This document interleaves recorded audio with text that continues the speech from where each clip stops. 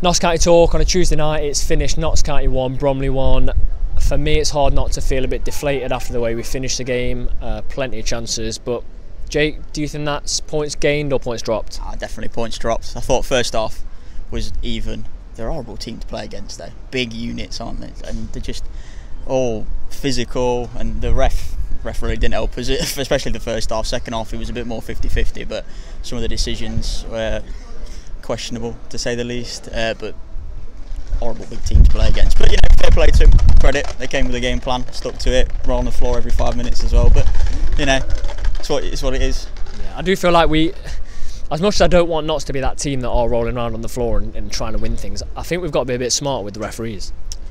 Yeah, they, they were. He was biting for every every minor challenge, but that's especially in the first half. Um, and they missed two very clear handballs in the second half, which was disappointing to see.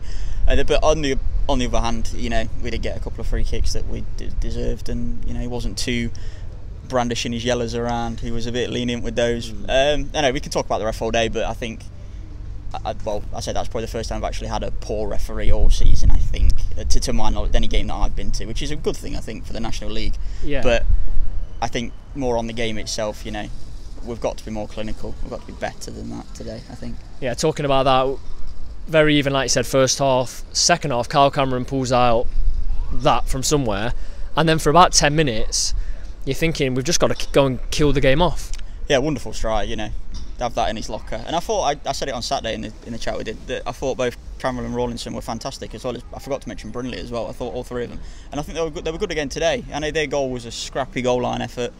Could they come off a, a parried shot out? And there's not there's not really a lot you can do about it. It's just the way it falls. But yeah, I think I, I, think we had the better of the second half. That's the more disappointing thing, and they never really looked to threaten, uh, apart from the, the, the, goal they scored. But I, you never felt under the cosh by them. They never pressured us really. So something that something that does stand out for me is when Bromley scored. I mean, it's the only chance they had all second half. When they scored, you know, in previous weeks, they would have been the team pressing to get the winner. Notts actually reacted incredibly well, didn't we? I, would say yes. And, and again, you know, we went at it. You know, phenomenal shot from Roberts towards the end to hit the bar. That would have been phenomenal if that went in. But it's, it's just one of those days. Caro's chance. Caro, I don't know what he was doing there, but you know he could have took a touch. But you know the pressure of the moment, isn't it? And you know you can never sort of get, you can't always get these things right.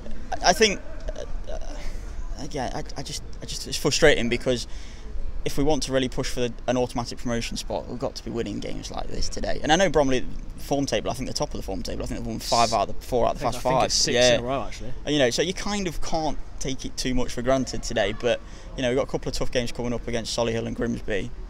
And you're thinking to yourself, it would have been really nice to have to have had the three points today, but you know. Yeah, we're travelling to Grimsby uh, together on Saturday, aren't we? Does what does this result today mean about the Grimsby game for you?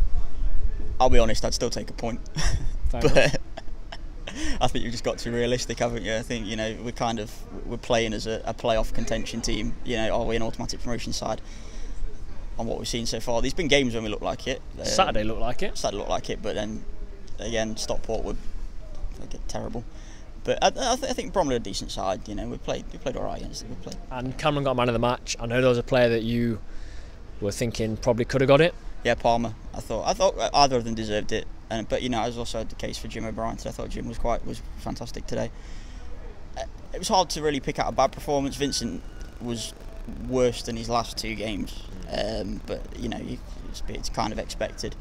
Um, but other than that, I thought Palmer was fantastic. So you need that calming influence, especially when they're coming at you with those big physical players. And say he's not the biggest or physical player himself, he's quite small.